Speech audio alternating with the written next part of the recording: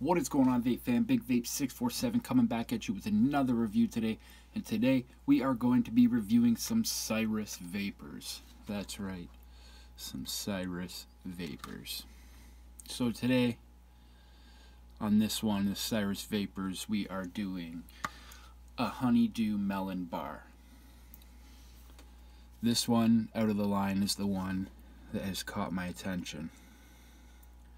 But say the least, their packaging is fantastic. Labeling comes in a beautiful box with beautiful packaging. Absolutely love taking photos of this stuff.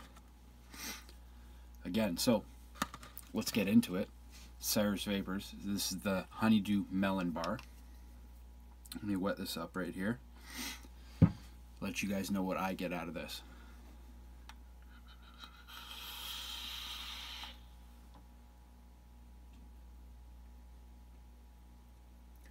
It's nice and super smooth.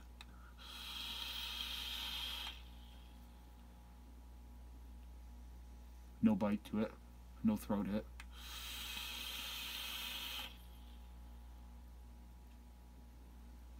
So, you definitely, prominent is the honeydew.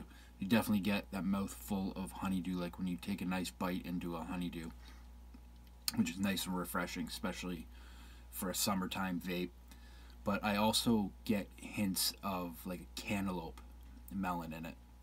Definitely can taste like the cantaloupe side of the melon.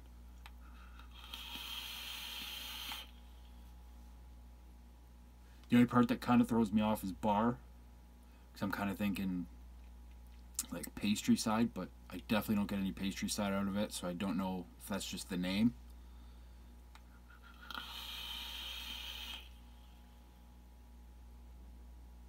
But in a melon vape, he nailed the melons.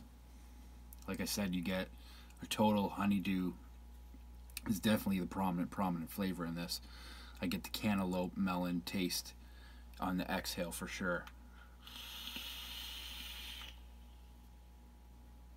But it actually does taste like you're biting into like a honeydew, which is fantastic. Again, it's Cyrus Vape go check them out Facebook, Instagram, show them some love. They have quite a few different flavors. This is the new line of theirs. I said, please go show them some love.